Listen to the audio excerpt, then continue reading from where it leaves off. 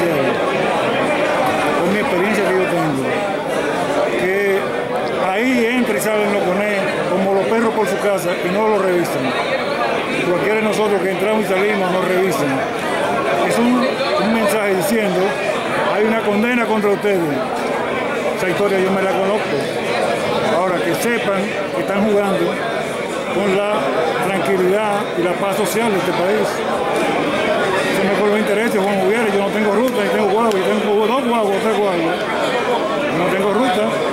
Aquí no es como los cañeros, sus dirigentes se vendieron y hoy están en la miseria, sin que les paguen las pensiones. No, no, no.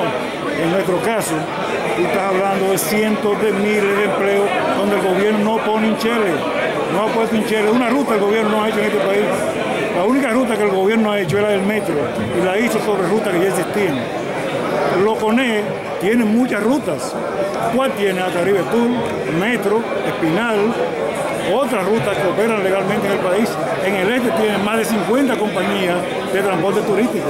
Las zonas francas de la capital, voy a poner dos ejemplos solamente, como la zona franca de San Isidro y de las Américas, el transporte que ahí opera, lo operan gente del CONE. ¿Qué es lo que pasa?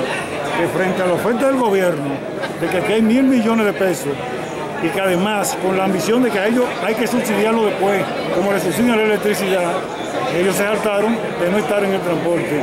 Porque en el, papá, en el transporte estuvo Pinco Ripio, a mí Matoyo, Papucho Morales, estuvo la ruta la metro en el transporte urbano. Toda esa, gente honorable estuvo tuvieron que retirarse porque dijeron esto para prieto y para gente que sube mucho, porque aquí no se produce cuarto. Porque no hay quien subsidie a los transportes urbanos. De eso se trata. Y con eso es que este tribunal y el poder se están enfrentando. No es con Juan Uribe.